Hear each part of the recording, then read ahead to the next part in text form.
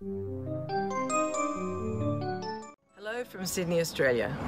I'm Margaret Brandman, composer, performer, and recording artist.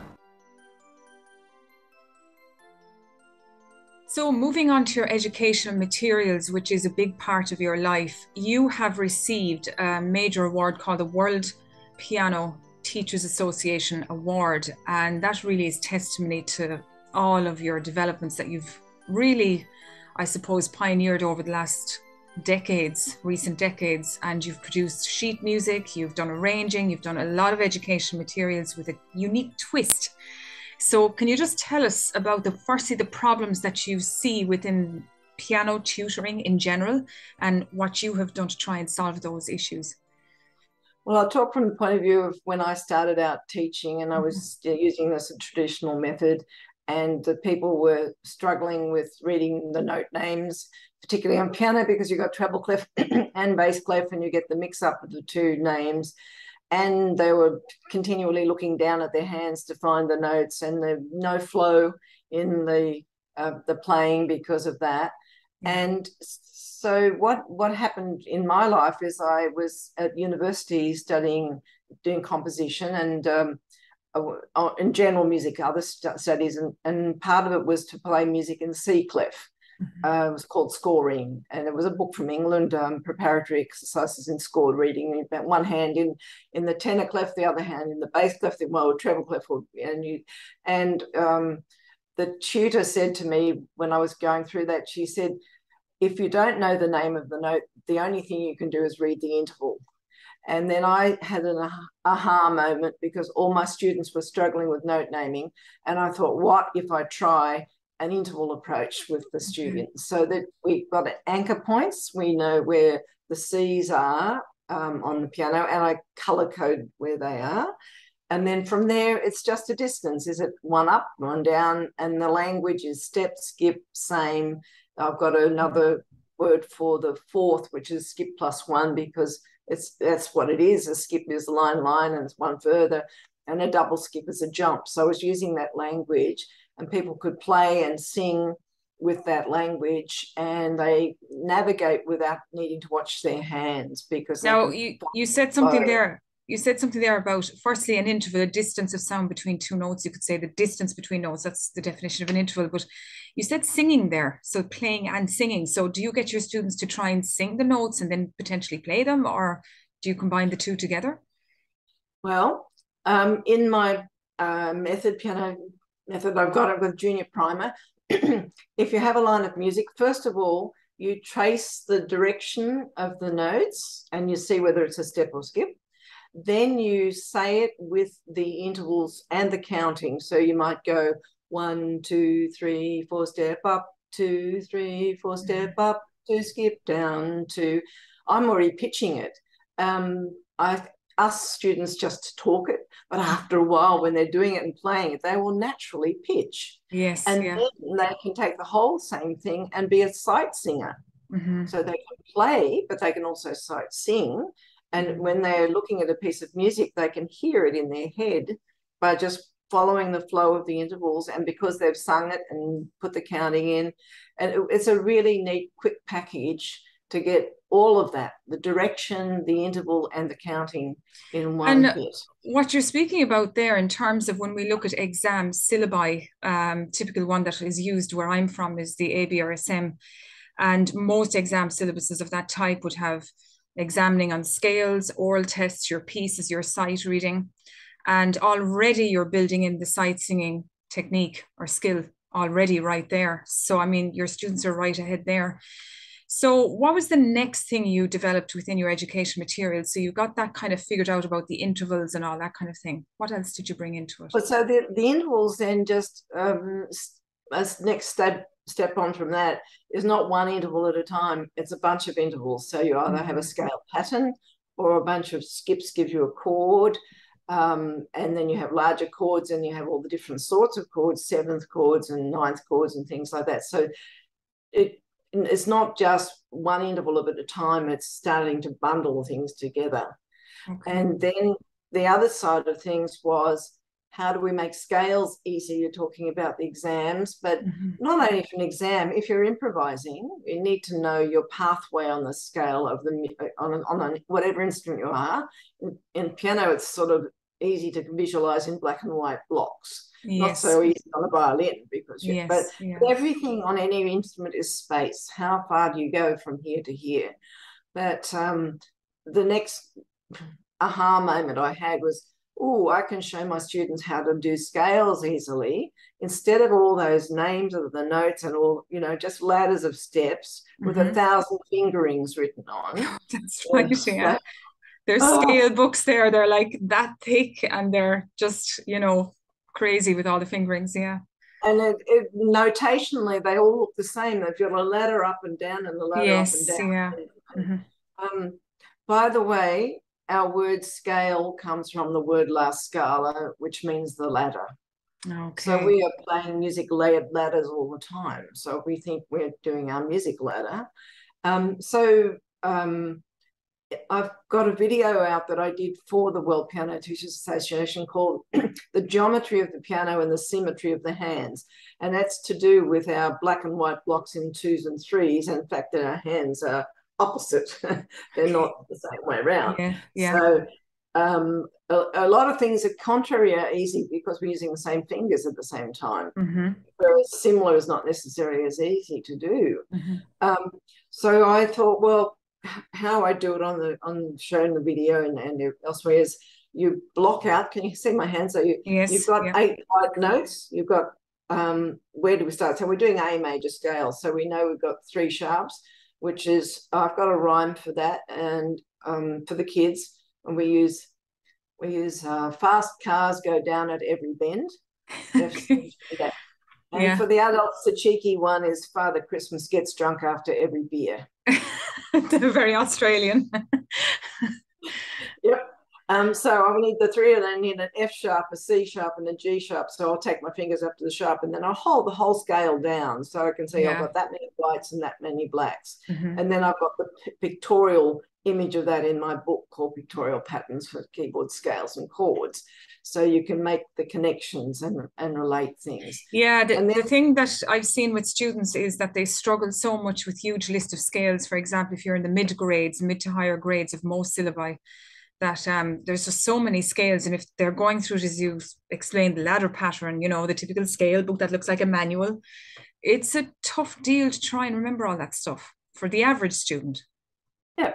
Well, so in, in my pictorial patterns, I've shown in a, on a graphic how you can see all 12 major scales in one view.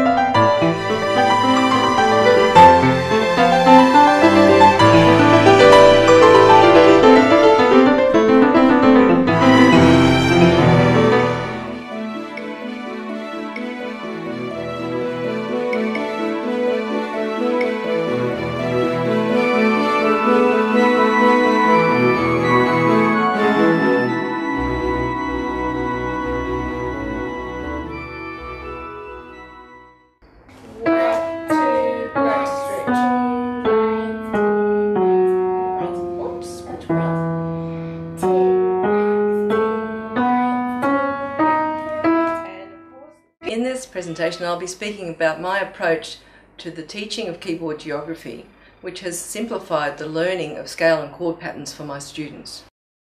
I will offer some easy ways for students to memorise their scales.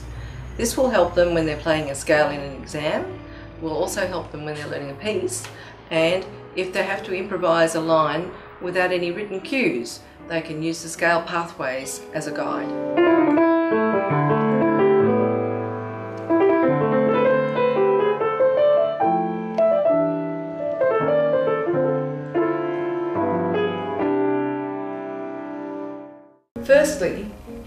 Just one scale, the G flat scale, is presented in most traditional scale books. The notation is quite confusing for the novice.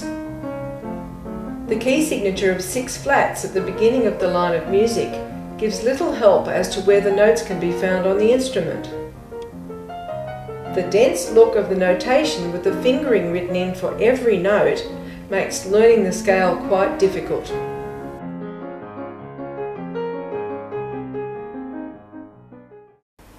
Here is an interesting piece on how the brain comprehends the whole.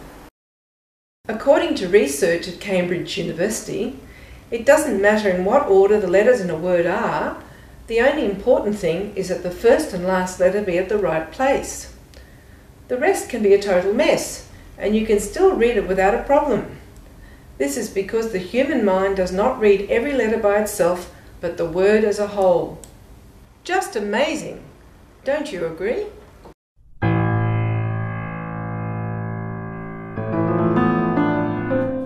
Now I'll show you a diagram in which the entire 12 major scales can be seen in one Gestalt view. I call this the grand view.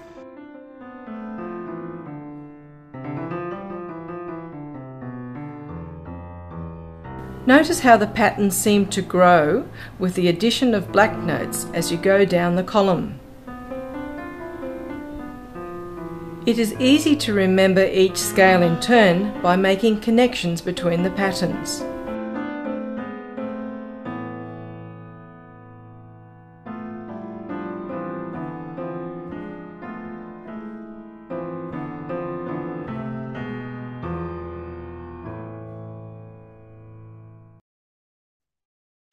Now that's one that's of the things cutting that, down a lot of you know blockages right there. Yeah. And what I like to do in my teaching is use gestalt a lot, which means seeing the whole view of the topic mm-hmm. instead of a bit by bit by bit. So sometimes it helps to see how they all sit together and how they all relate.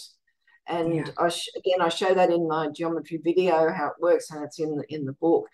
The other curious things I, I found there too is you if you put E flat major scale and E majors above, above each other, the blacks in E major become the whites in E flat major. Yeah, I call it photographic, photographic negatives. Yeah. Um, so I had a lot of fun exploring that, and it was sort of working with students and trying to figure out how do I get the message across. So yeah, a lot of the education materials comes from having had to find a solution.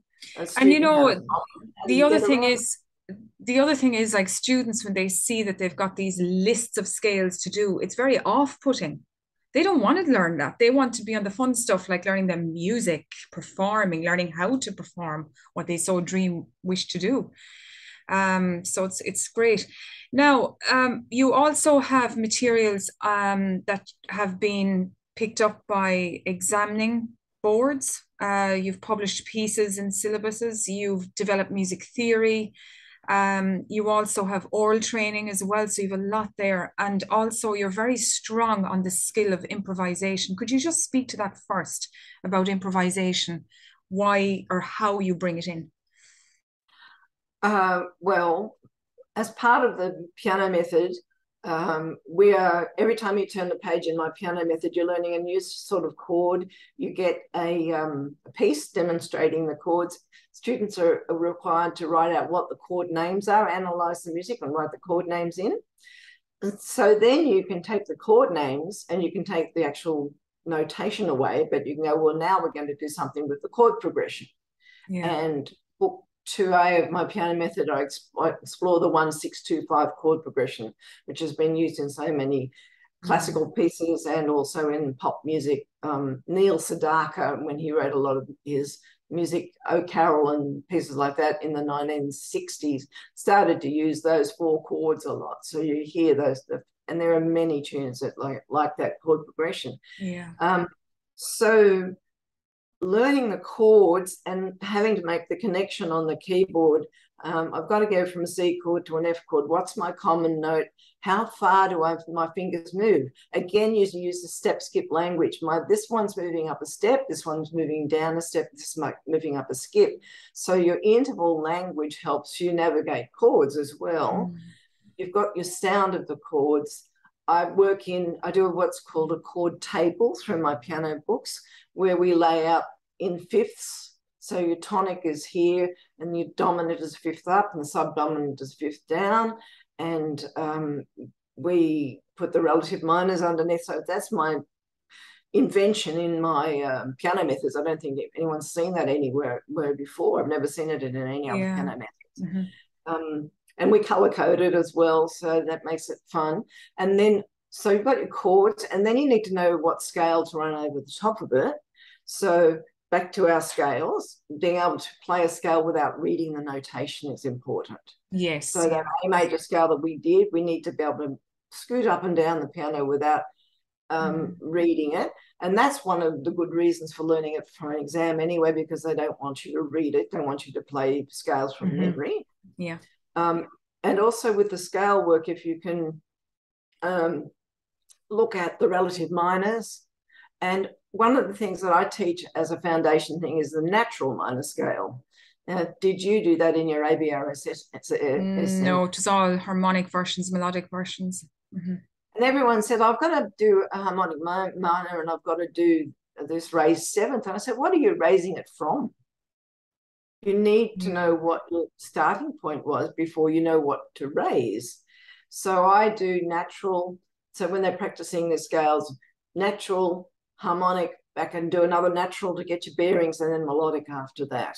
Okay. So, yeah. so that's why it I sounds. It. it sounds like though that you're increasing the capacity for learning. What I'm trying to say is, students are going to learn quicker because you're really making it more pictorial, more visual, more kind of pulling it together more in a conducive context, if you know what I mean, very cohesive. Would I be right in that assumption? Absolutely, because again, this Gestalt thing, we when you want to see the whole thing fairly quickly, you don't want to spend ten years getting there. Yes. Um, but yes. one of the things I one of my things I demonstrate on the video is playing the twelve major scales only one octave each, up and down, pick out the chord, go up a fifth and get your next scale. So you're going to do your scales in order, one sharp, two sharp, three sharps. And you run out of the piano at, at F sharp because it's, you know, and then yeah. go back down and do that D flat and you come back to the center. And I show that in video, you know, you can do that in under two minutes. So everyone can cope with all their scales in such a short, much shorter that's, time. That's a gift. That's a gift because I can't tell you how many times I've seen students looking at this list going, oh my goodness, I don't want to do an exam. This is too much, you know, yeah. and it takes forever then to learn. Um, moving on, music. Yeah. I just want to up there because then from those scale patterns, you can also derive the modes.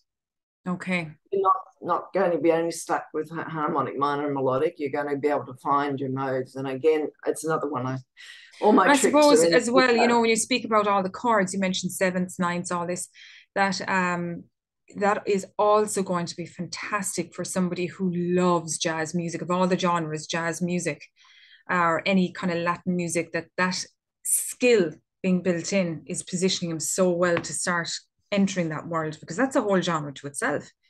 Yeah. It and really don't is. forget that bach was the first jazz musician and he's got all these wonderful chords um, through his music. And if you start to analyze the chord progressions and figure out instead of playing da da da da da da da da da da da da you play it as a block chord, block chord, block chord. Yes, you yeah. speed learn the music. You're hearing what the chord progression is. Um, and then you have a look at what Beethoven did, and then you look how Chopin did the chords, and uh, and then the melody so, lines, how they brought in melody and how they made it so beautiful, and the phrasing, and yeah, it's it's, yeah. it's fascinating. And you connect, you connect all the styles of music through those tools that you yeah. they all modern music and bach's music all use scales they all use chords let's find out what the connection is and how many of these chords they share and where we've gone from that and then bring it into the popular genres like pop music and so forth same deal yeah. or the roots yeah. um, music theory how do you bring that in well, uh, again, I've written my uh, own books called uh, Contemporary Theory Workbooks, and there's a primer where, again, with color coding for learning rhythms, um, easy for the little ones, and intervals. And then there's a, a book one and book, book, two, which cover all the basics, the scales, the chord um, understanding, major, minor, uh, major, minor, uh, diminished, augmented, and suspended fourth chords in the first book. And okay. I said to my one of my students 10 year old, I said, What are the chords? He said, Major, minor, argumented, and demolished. argumented, and demolished. That's excellent. Oh, that's brilliant. that's brilliant. So that's you, you get the wonderful things back from the students. So. Yeah, and then they stimulate you to create more. That's the thing. And yeah. oral training, you also, I think, have books for oral training. Yeah, I've, I'll finish the theory bit because okay. we've got those those ones. Um, books one and two. I do modes in the second one and the seventh chords. In the chord, then I've got a chord workbook series. I've got one and two in the chord workbooks, which is honing in on what how to write the chord, where you find it in the scale, what what uh, where it sits in the in the key, and what mode will go over that chord. So for people going on to their jazz and to other things, this is um, very solid um, two foundation. Mm-hmm. First book goes to the sevenths, and second book does ninths, elevenths, and thirteenths. So right into the jazz. Right there. in there, yeah. And then, mm-hmm. and sorry, and then I've, I've, written a book called Harmony Comes Together, which well, is I was, I was, harmony. I was just going to lead into people who want to actually write music, learn how to write music. I presume you're covering that. I in four part harmony creation? Yes, but also right through the piano method because I've written the piano method as from the point of view of both a performer and a composer. Okay. So I okay. like to show every time you turn a page, this is a new type of chord. This is here where you would find it. Here's a piece that I either I've written or somebody else has written that mm-hmm. uses these chords and I'm training people to be composers all the way. So it's not like a separate thing you have to do. It's as part of becoming a, a, a rounded pianist. A rounded so, musician. Sounds yeah. absolutely an amazing syllabi. Um, now, oral training, big deal, big deal, oral training. Um, have you something else you want to add? Uh, no, you're going to go on to yeah. oral now. Okay, so oral training oral training I have seen has challenged a lot of students that I have seen. And, you know, when you think of the mid higher grades, it is quite challenging. If that student hasn't really started doing oral training from day one, particularly, it's a skill you build, build, build. And in my own story, a bit like yours, you know, you had the recorder and other instruments to really help develop your ear. I didn't just do piano. Um, and it helped my ear to develop in a strong way. So I'm just wondering, firstly, what tools have you to help students? And secondly, how would you advise somebody that mightn't be very good with their oral skill? How could you advise them to, you know, strengthen it? Okay, can I first of all tell you my little family story? I was about five and I'd been learning the accordion since I was four. And my mother was teaching in the front room because of our music studios in the house. And she would play a note on the piano in the front room, and I'd say, That's G. And she says, How do you know it's a G? I'd be in the kitchen and I'd tell her what note she was playing. And she we discovered that I had perfect pitch and we'd make a game out of it. And she would just wander off two rooms away, play a note, play a chord, and I'd tell her what it was. So fortunately, with all this early music around me, that I developed the, the, the, sense of perfect pitch, which you need to be able to know what a G is so you can say, well, mm-hmm. that sounds G. Yeah. So then my experience was going to the Conservatorium of Music High School, where I was totally immersed in music with everything we were doing. And we were fortunate to have music theory and oral lessons, maybe two hours a week or even more. And I thought, well, how can I get this across for my own students once, you know, they're not they're not at a specialist high school, they're just ordinary students. How can we get enough time on oral so I decided to uh, develop my own course where it was a voiceover. It trains you what what interval to listen for, um, or what the rhythm is, and you need to clap it. And then you need to uh, have a set of books where you write down the answers. So we've now got audio files that, that can be bought and downloaded, and it has a, a workbook, and the workbook okay. has the answers in in case the parents want to check. Um, but that can all be done takes the load out of the lesson time can be done at home several times a week, not just once a week. You can't train your ear once a week. No, you can't. It's an ongoing skill. Mm-hmm. And I start right from day one. So when my students come in and they get the junior primer, of the red book in my series, with my little koala character called Dexter all the way through. Um, they also get their oral um, book and yes, right from day one. So what we're going to what's high and low, and we do actions with it, you know. So mm-hmm. it's fun for the kids yeah. to do, and we do clapping and listening, and that oral course has the preparatory level and another eight levels. So in the in the last two, it's called Hear Your Chords and Hear More Chords, and I'm covering the same chords that I talked about in the chord mm. workbook okay. from the oral point of view. But okay. it's not just a series of questions; it's training and a very pleasant voiceover. We got this lady. Um, I did it originally, and we wanted to release it in America, and they said, "Oh, you sound too Australian." Thank goodness, too Australian yeah, so we got a lady with a lovely she does television here in Australia, and she's got a what they call a transatlantic voice, and she's doing my voiceover. But I'm playing all the music for it. Oh, so, beautiful, beautiful. So it should be and, accessible. Um, just a question that's leading into this is practice. Now, many students have asked me in the past and asked and figure, you know, they'd be trying to figure out how much time is this going to take? I'm a busy person. How much, you know, yes. how long should I practice every day? I'm a beginner. I'm an intermediate, I'm more advanced. So, how do you answer those questions? Well, you can you can learn quickly and efficiently um, if you put in some of my strategies. Put it that way. So it, mm-hmm. you can practice you can practice the things and get them more quickly with some some of these strategies that I've developed. Um, but for my little ones, I just have the two, two, two formula. So we've yeah. just got a piece of music, two right hand, two left hand, two together. But also before doing two hands together, we do a little thing which I call finger tracing. So you've got what I call crocodile fingers, and it's you use your left hand and you track whether the music's going up together, down together, out or in. You see the patterns, and children don't actually see very well or mm-hmm. don't take in what's there. But once they touch the page and relate with their fingers, they start to see the patterns. Yes, yes, yeah. So that's and I, strategy that I use. Yeah. I also think as well, you know, the way the world has gone now with technology, everything is so visual, so touch based, you know, like touch screen, like that the more of that that's included in how one tutors, it's it's more effective. That's what people yeah. now are used to rather than reading a ton load. Um, a parent is wondering, uh, I want my children to have music in their lives, and I don't know much about the music world or what I should look out for. What would you advise a parent? Um, well, we're, we're talking a particular instrument or in general, like in how general. to include music into their life. How do they go about it?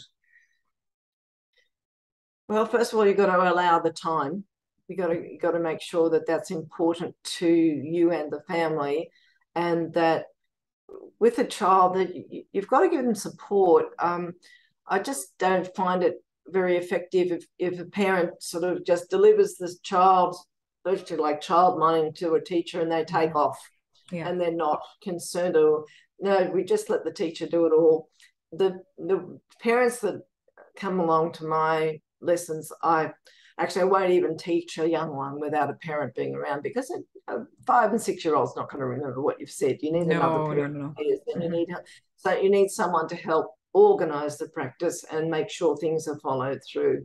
So if you want to bring music in as a study, at least for the first six to months to a year, the parent needs to be there and involved and happy to be a sounding board or another pair of ears or come into the lesson and sit at the back and just observe. observe. Yeah. Um, mm-hmm. but some parents, I actually get them playing it themselves and they go, oh, it, it looked easy, but I don't. now I know what my child is understanding because they, they've got to try and do it themselves. And they, yes. what looking from the back, you think, oh, that's going to be easy. But as soon as you try and do it for yourself and you really there's a different level of understanding to it.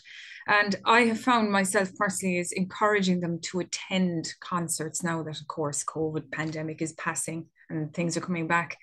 I have found it so um, motivational for the student and the parent actually to go on a combined outing to a special concert. And they come back and they're invigorated. They go, "Oh, I, it was great, and this happened and that happened. Now I really want to play."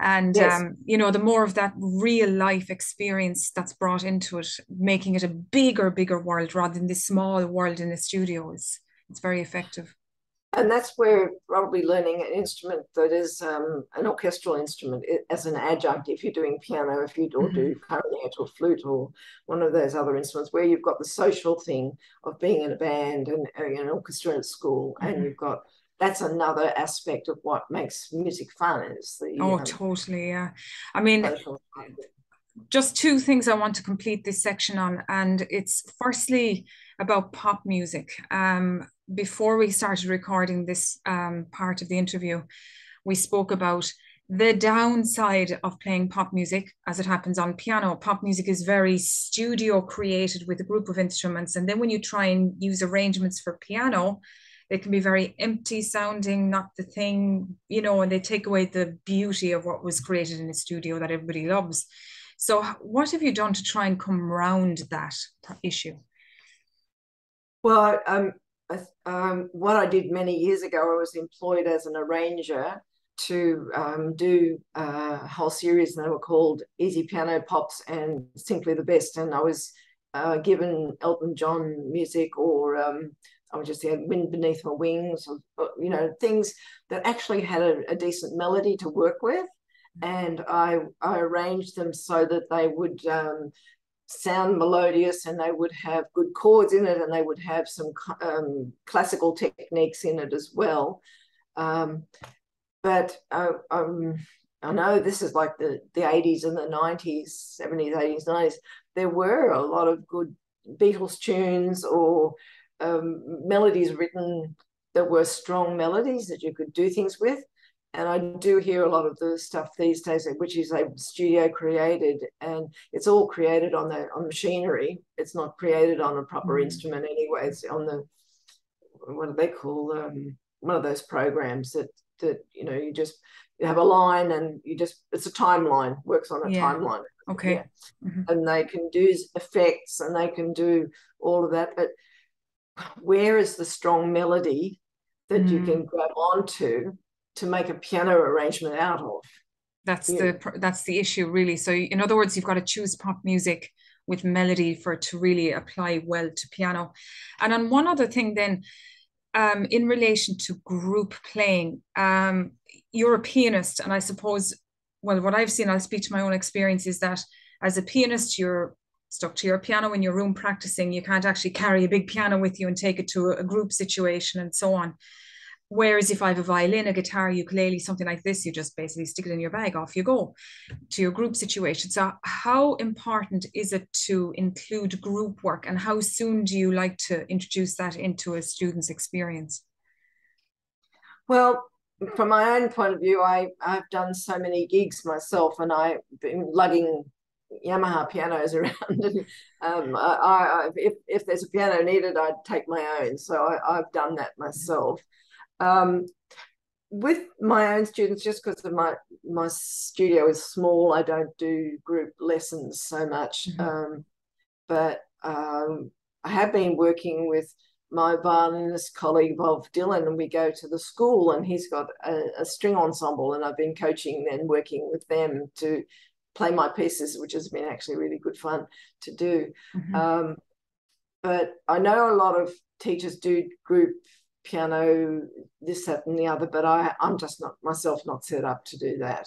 And but um, is there, you know, when you think about group lessons for instruments in general, I I think there's a for and an against in that discussion because you have all this like one-on-one time where there's a lot of knowledge being shared and it's very hard then to take a student from that situation and teach them in a group situation. I would imagine the group situation is more for ensemble work after you have your private work done. I would I would agree that that would be the way to do it because particularly with piano, you need to be individually like a hawk as a piano teacher watching hand position mm-hmm. um, making sure the you know fingers are curved there are so many aspects yeah. just watching one child. And I wouldn't like to have, say, five children all chunking along, you know, playing a mm. fairly easy something or other, and having no time to make sure that their hand position was right or um, and you know they get away with sort of murder with a lot with that with that sort of stuff. And, but the quality oh, yeah, wouldn't be in it. Yeah, we're playing a bit of a tune here, but we don't.